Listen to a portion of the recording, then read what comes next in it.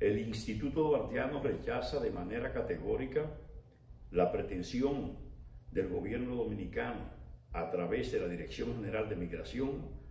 de dotar de documento de identidad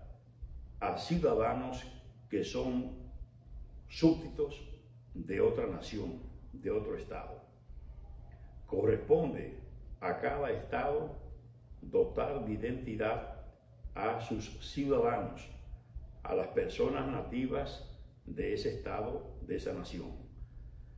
La República Dominicana, bajo ninguna circunstancia, puede inmiscuirse en los asuntos internos de otro Estado y lo atinente al registro civil, a la identidad de las personas de una determinada nación, corresponde a su propia soberanía. Hay un principio en el artículo 3 de la Constitución de la República Dominicana que establece que el principio de no intervención en los asuntos internos de cada país, de cada nación, de cada estado, es un principio irrenunciable de la política internacional dominicana. Por tanto, ya nosotros no soportamos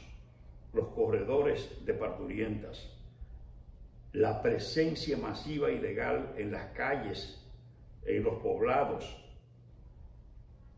la presencia importante de una cantidad de estudiantes en escuelas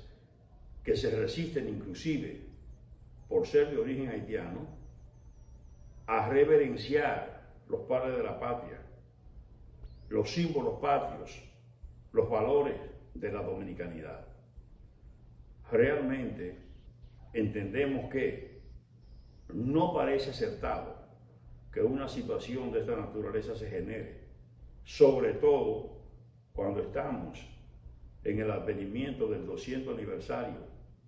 de una ocupación militar grosera, como fue la ocupación militar haitiana del 9 de febrero de 1822.